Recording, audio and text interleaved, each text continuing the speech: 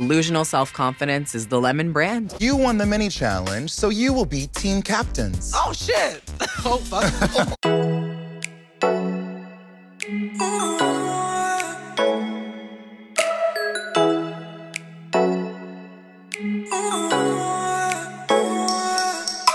So, have you ever walked in heels before? I have not. Okay. Step one I love a bratty pageant princess. That's a fit. I love pageants. Oh, that's very this. I hate that. Thank you. That literally looks like. I would take you on a date and I'd be proud to walk around with you. You still can. Get a room. 1506. Yes, Hello, Lemon. Hi, Angel. What? So I got Miss Fitz, hmm. bratty pageant princess. No. When things don't go exactly my way, I'm very like, no. Oh. So I'm very oh. excited. I am a straight up motherfucking rapstress. You have a lungs on your head. Thank you. Brooke Lynn has dealt with the same thing. And look where she is. Clearly, I just need to focus on myself because everyone else already is. Everyone wants to be a doll, but they a troll. Lemon is also a spoiled princess, so I feel like her and Misfits would get along. I am so gagged that Allie X is here. And really think like gay risks. Like let it. I love her. I've seen her live before, and she's a fucking powerhouse. In terms of the choreography, I know I am saying that. I am that bitch, and I am serving it to you. Other girls aren't quite getting it as quickly as I would hope they would.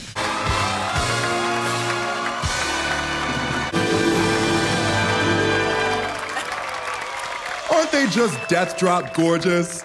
I would like to thank my father for his endless financial contributions. Thank you so much. Enjoy this show. I think you look beautiful. I always love when a pageant girl's real talent is pageants.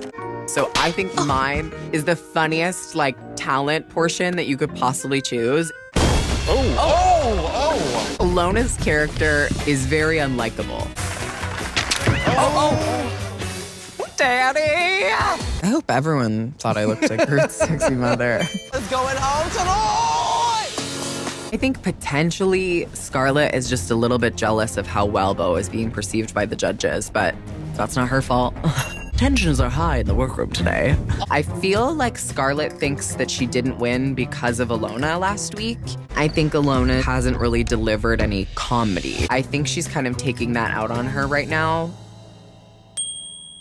Which is really, which is really funny. I have to show the judges that I'm not messy and I can build a silhouette.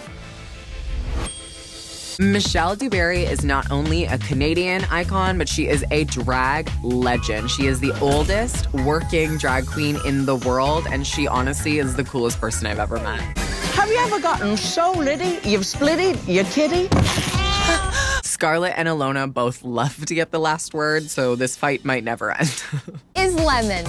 I am serving you perfect pageant five year old realness. Lemon loves pageants, arts and crafts, and tap dancing. When she grows up, she wants to win Canada's Drag Race. I'm gonna win Ultimate Grand Supreme. I just know it. And my mom said if I did, she'd take me for a poutine. I'm back in the competition. I feel so good. Oh my God. Congratulations to Lemon. Congratulations. Oh, yes. Thank you very much. Our much. doll, our literal doll. Look, this competition's getting intense as hell. Bitch, you've already lip synced twice. The third lip sync is the kiss of death. Girls have been constantly doubting me in this competition, and I just got my second Maxi Challenge win, and I'm not done. This is gonna be really easy. I'm gonna read Priyanka to Phil.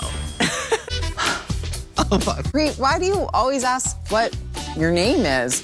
Because everyone thinks I'm damn Tynomi. Even the judges. That's why they keep putting me in the bottom.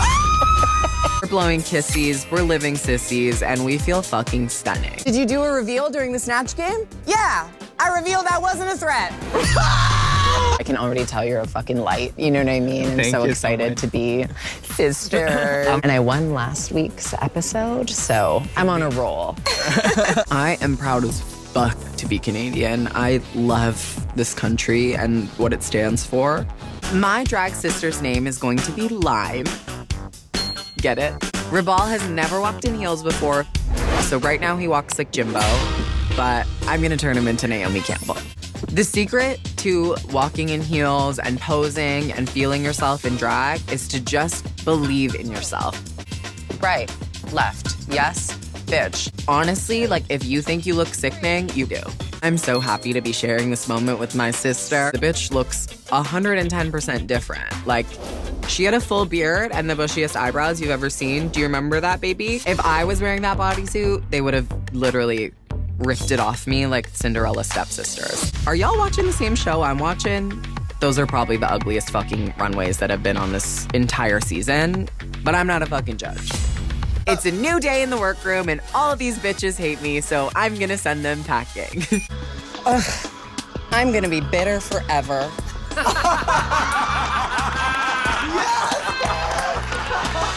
Sometimes the mean girl in the movie has a kind heart. I'm gonna miss her so much.